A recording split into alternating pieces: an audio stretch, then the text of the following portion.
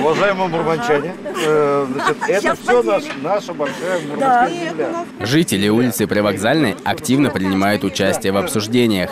Для них это возможность воплотить свои идеи в жизнь. Ведь городские власти обещают учесть все пожелания. Работы ведут сразу возле трех домов.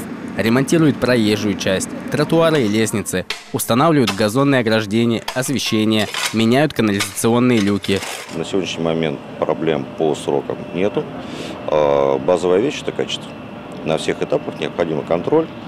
А, Собственно говоря, для чего эти выезды существуют. Но самый важный момент – это общение с жителями. Большое внимание уделят и озеленению.